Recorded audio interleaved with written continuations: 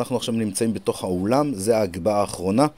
אנחנו רואים פה את המזבח, ובין האולם ולמזבח יש לנו שוב 12 מדרגות, שכל אחת גובה חצי אמה, סך הכל 6. אז אם אנחנו נוסיף ל-13 וחצי 6, 19 וחצי אמה. אז יוצא שההיכל גבוה ב-19 וחצי אמה מרצפת הר הבית.